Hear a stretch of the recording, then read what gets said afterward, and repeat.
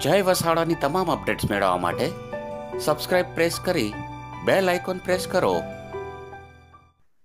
સુખે દુખે સમય કૃતવા લાભા લાભો, જયા જયોનો જે થીમ છે, જે ભારતના સામાન્ય માણસને પચી ગઈ છે. અસામાન્ય માણસોને નથી પચી હજી. આપણા પોલિટિશિયનોને, આપણા ઉદ્યોગપતિઓને, આપણા કેટલાક સેલિબ્રિટીઓને બહુ ભૂખ હોય છે કે હજી મારું રેકગ્નિશન થાય, હજી મારી વાહવા થાય, હજી મારા પોસ્ટર છપાય, હજી મારો પ્રભાવ રહે. પણ મેં જોયું છે કે આ દેશનો કોમન મેન એ આ બધા જે શ્રમિકો ચાલે એની દર્દનાક કહાનીઓ ખૂબ બધી મીડિયાની અંદર આવી. પણ તમે વિચાર કરો તો આપણને દર્દનાક લાગે છે. કારણ કે આપણે આપણા રૂમની અંદર બેઠા બેઠા ટીવીમાં જોઈએ છીએ, આપણા સેલફોનમાં જોઈએ છીએ, ન્યૂઝપેપર વાંચીએ છીએ. જે ચાલે છે, એમ તો સહજ ભાવે પસાર થઈ ગયા. મીડિયા વાળા આવ્યા, કેમેરો રાખ્યો, પૂછ્યું, પાણીની બોટલ આપી, કોઈએ ખાવાનું પેકેટ આપ્યું, ખાધું, પીધું અને પેલું સુખે દુખે સમય કૃતવા લાભા લાભો જોયા જેવો કે આપણે તો આપણી યાત્રા ચાલુ રાખવાની ભાઈ, આપણે ઘરે જવાનું આ કઈ ઘરે મૂકવા નહીં આવે. આ ફોટો પડાવી જશે ભલે પડાવી જતા, એક દિવસ ખાવાનું આપ્યું તો આપ્યું, પણ આખી જિંદગી ખાવાનું આપવા નહીં આવે. એમ કરીને ચૂપચાપ ચાલતા થઈ ગયા. કેટલા લાખો લોકો ચાલીને ઘર ભેગા થઈ ગયા. મને દુનિયાને બીજું ઘણું દેખાણું છે આ વાતમાં. પણ એ બધું સાઈડમાં રાખો, એ બધું મને નથી દેખાણું મને નથી કહેતો. મેં એના ઉપર થોડું લખ્યું છે.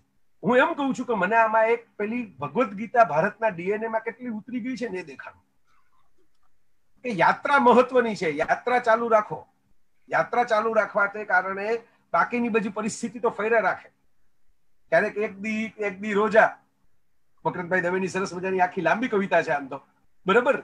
બરાબર? કે આપણે આપણે આજે આજે કંઈક દિવાળીનો તહેવાર મનાવી રહ્યા છીએ અને આવતીકાલે કંઈક શોકની રાત હશે. આજ જીવન છે. રાત, દિવસ દિવસ, રાત. આમ જ સાયકલ ચાલી છે. પણ તમે કેવું ગીત ગાયું? તમે કેવી મજાઓ કરી? તમે કેટલા ચહેરા ઉપર સ્માઇલ આપ્યું? જવાબ લંબાઈ ન જાય એટલે એક મારે હજી ઉદાહરણ મારા મનમાં આવ્યું. અમેરિકાનું જ છે. મને અનુભવ થયેલો છે તમારા અનુભવ કયા એમ. પણ મારા ખ્યાલથી આ જવાબ લંબાઈ જશે. એટલે પછી કંઈક પાછો સમય મળશે ત્યારે હું વેચી દઉં. અને જો સમય હોય તો અત્યારે બે ત્રણ મિનિટ અને સરળ રાખો. સરળ. ચાલુ રાખું. ઓકે. એ કોન્શિયસનેસ હોય કે પાછી કે આમાં હું છવાય જવાના નામે કે આપણું આપ કે આ ભાઈ તો બોલવા જ લઈ ગયા બોલવા જ લઈ ગયા એને બ્રેક જ ન લાગી. એટલે અશરફભાઈ બધી રીતે મારાથી મોટા છે એટલે મારે એમની પરમિશન લેવી જોઈએ. બહુ લંબાઈ જાય જવાબ. તો એક મને ઉદાહરણ જોવા મળેલું. હવે સાવ મારી પાસે ફોટો નથી વ્યક્તિનો. હું પહેલી વખત એટલાન્ટા ગયેલો. અને ફર્સ્ટ વાળી ટ્રીપ એટલાન્ટામાં બે હજાર બારની અંદર, ત્યાં એલપીએસ લેવા પાટીદાર કોમ્યુનિટીનું એક સંમેલન હતું. પ્રવીણભાઈ પાનસુરિયા નામના એક સજ્જન હતા. એમણે મને સુરતમાં સાંભળીને મને ત્યાં બોલાવે એટલે આપણો જે એજન્ડા હોય છે કે પ્રવચન બે કલાક ચાલે, પણ ફરવાનો એજન્ડા પાંચ સાત દિવસ ચાલવો જોઈએ. એ બધા રામભાઈ મેદાન પૂછશો એટલે તમને કહેશે. કે એ તો ઠીક છે. આ તો નિમિત્ત છે. પ્રવચનને કારણે આપણને બ્રોડવેની ટિકિટ લેવાના પૈસા મળે છે એમ માનવું. પણ એ ટિકિટ તો લેવી જ. એટલે હું સ્ટોન માઉન્ટન મેં બધું સર્ચ કર્યું. તો કોકોકોલા મ્યુઝિયમ જોયો આવ્યો જોર્જિયા એક્વેરિયમ જોયો આવ્યો સામે એક ચિલ્ડ્રન હતું જોર્જિયા એક્વેરિયમની સામે જ. એ પણ જોયો આવ્યો ચિલ્ડ્રન મ્યુઝિયમ બધું જે એટલાન્ટામાં પૂરું કરવાનું હતું, એ બધું પૂરું કરી નાખ્યું. બે દિવસ રોકાવાનો હતો. ત્રીજો દિવસ પણ મેં તો કાઢ્યો હતો એટલાન્ટા માટે. મેં કીધું, આ ત્રીજે દિવસે શું કરવું? એટલે સર્ચ કરી તો ખબર પડી કે સ્ટોન માઉન્ટન છે ત્યાં લેસર શો થાય છે. પહાડ ઉપર કોતરેલું છે માઉન્ટ રશમોર જેવું ત્યાં પેલું કાર્વિંગ કરેલું એટલે મને બહુ ઇન્ટરેસ્ટિંગ લાગ્યું, એટલે મેં કીધું, ચાલો નીકળી જાય. એટલે આપણા સ્વભાવ મુજબ અને અમેરિકામાં જનરલી બહુ તમને બીક લાગે નહીં. મને ઇટાલીમાં મારું પાકીટ ચોરાઈ ગયું ત્યારે ઇટાલીના પોલીસવાળા એવું કહેલું સારું છે તમે અમેરિકામાં નથી ફરતા. એટલે મેં કીધું, કા? મને કે તો ગોળી મારી જાય તો ખાલી પાકીટ જ ચોરી જાય. એટલે પોતપોતાના પરસેપ્શન હોય છે. એટલે એને એમ હતું કે પાકીટ ચોરી ગયું સારી વાત છે? તમને ગોળી હવે મને અમેરિકા સેફ લાગે ફરવામાં, ઇટાલી કરતા. ઇટાલીમાં મને અનસેફ ફીલ થાય કે ભાઈ આપણે રાતના કંઈક કોઈક બેગી લઈ જાય પાકીટ તો શું બાજુમાં પડેલી. બોર્ડિંગ પાસ લઈ ગયા પાસપોર્ટ લઈ ગયા દાખલા છે મારા મિત્રના એરપોર્ટ ઉપરથી. એટલે મને અમેરિકા સેફ લાગે કે આપણે શું પૂછવાનું હોય? અહીં તો પૂછો એટલે જવાબ મળે. અહીં ક્યાં તમને કઈ નાઇન વન વન ડાયલ કરો લોકો આવી જાય તમારી આસપાસ. એટલે હું તો ટેસ્ટથી ચાલતો થઈ ગયો. નીકળ્યા પછી ખબર પડી કે જે રેલવે સ્ટેશન મેં વાંચ્યું હતું તો બે હજાર બારમાં અત્યારે જેટલું જીપીએસનું ને બધું તો હતું નહીં. બરાબર? તો જે મેં વાંચ્યું હતું એ સ્ટેશને ટ્રેન ઊભી રહી ગઈ, પણ ત્યાં સ્ટોન માઉન્ટન નહોતું. ત્યાંથી બસ પકડવાની પૂછપરછ કરતા મેં બસ પકડી. અને બસ પકડી પછી ખબર પડી કે લાસ્ટ સ્ટેશન સ્ટોન માઉન્ટનનું નથી. સ્ટોન માઉન્ટન તો કાર લઈને જઈ શકાય, એવી જગ્યા છે. ત્યાં કોઈ બસ ઊભી જ નથી રહેતી. હવે એ વાત આ બેકગ્રાઉન્ડમાં આટલું એટલે આપ્યું કે એ બસમાં હું બેઠા પછી આ મને ખ્યાલ આવ્યો.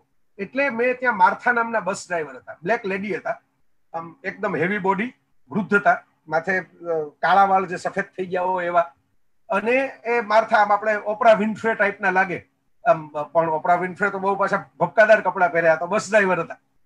પણ મને નવાઈ લાગી. મેં એને પછી આ મારી વ્યથા કથા મેં જે થઈ ને બસમાં ચડતા હોય તો એને સંભળાવી દીધી કે મારે સ્ટોન માઉન્ટેન જવાનું છે, હું ખોટી જગ્યાએ પહોંચી ગયો તો આ સ્ટેશન હતું, આમ હતું, તેમ હતું, એક શ્વાસ એવું બોલી ગયો.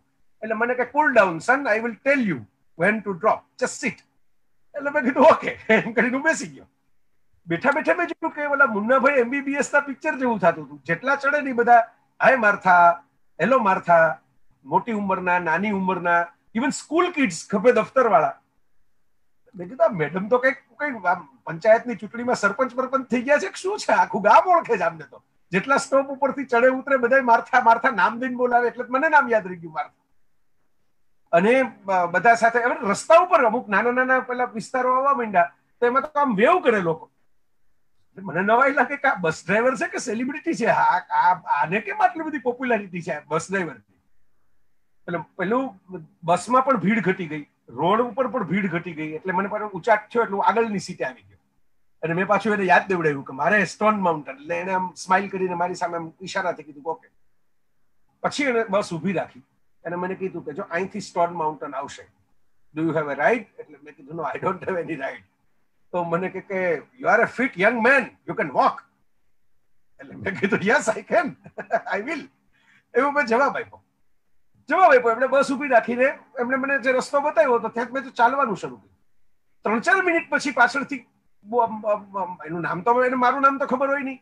હે મેન હે મેન એવો અવાજ સંભળાવવાનો. એટલે પહેલા તો મને ખ્યાલ જ ન મને બોલાવે છે. પણ જોર જોરથી બૂમો આવી એટલે મેં પાછળ જોયું તો એ માર્થા બેન એમના હેવી બોડી સાથે હપ્તા હપ્તા મારી પાછળ આવતા. એટલે મને કે you are going on wrong side this side this way એટલે મેં કીધું યસ સોરી કે મેં તમને બતાવ્યો તો આ રસ્તો આ રસ્તો નહીં. એટલે મેં કીધું યસ એમણે એમની પાસેથી એક પાણીની બોટલ મને આપી. મને કે you are young you can walk but you need water well you are walking you don't carry a water એટલે મેં કીધું સોરી પણ આઈ ડીડ નો કે મારે આટલું ચાલવાનું થશે એટલે મને કે નહીં, કેરી માય માય બોટલ. એમ કરીને પાણીની બોટલ આપી. પછી એક મિનિટ પછી જતા જતા પાછા આવ્યા. પાછા આવીને મને કે, લુક આટલા વાગે, એમ કરીને પેલું બસના ટાઈમ મને લખાવ્યા. પાછા ફરવાની બસ. કે જે રેલવે સ્ટેશને હું પાછું મારે જવાનું છે, એ સ્ટેશને પહોંચવાની. મને કે, આ ત્રણ જ બસ આવશે. આ શો પૂરો થઈ ગયા પછી રાત પડશે. રાતના it is a safe walk, પણ રાતના પછી બહુ એ કે અહીં બસ સ્ટેન્ડ સિવાય ઊભા નહીં રહેવાનું. ઇન્ટરનલ રોડમાં નહીં જવાનું. It's not a good area to stand at night બહુ જરૂર પડે તો પોલીસની કારને બોલાવી લેવાની. એવું બધું મને બધી ઘણી આપણી મમ્મી સૂચના આપે ને જેમ બારગામ જતી વખતે એવી સૂચનાઓ આપી. કેટલી બધી. અને બસનો ટાઈમ લખાયો પછી પાછા વળી એક મિનિટ પછી પાછા આવ્યા. મને કે આ જે ઉતરા છે, ડ્રોપ થયો, ત્યાં બસ નહીં આવે. આ તો ડ્રોપ ઝોન છે. બસ તો સામે આવશે, એમ કરીને જગ્યા બતાવી ક્યાં બસ આવશે. આટલી બધી કેર કર્યા પછી એ એકલા એકલા પાછા રવાના થયા. અને ત્યારે મને એ સમજાણું, તો એકલો એકલો ચાલતો થયો સ્ટોન માઉન્ટેન જવા માટે, કે માઉન્ટેન સ્ટોન ના હોઈ શકે હાર્ટ સ્ટોન ના ન હોઈ શકે, કોક વ્યક્તિ આટલી બધી હેલ્પફુલ નેચરની હોય કે જે અજાણ્યા ટુરિસ્ટને અજાણ્યા દેશમાં રસ્તાથી માંડી, પાણીથી માંડી, પાછા ફરવા સુધીની કેર કરી દે. એ વ્યક્તિને સ્કૂલે જતી બાળકીથી માંડી અને પેટ્રોલ પંપ ઉપર ઉભેલા એટેન્ડન્ટ સુધીના બધા જ લોકો વેવ કરે અને હાઈ માર થાકે, એને લાયક છે.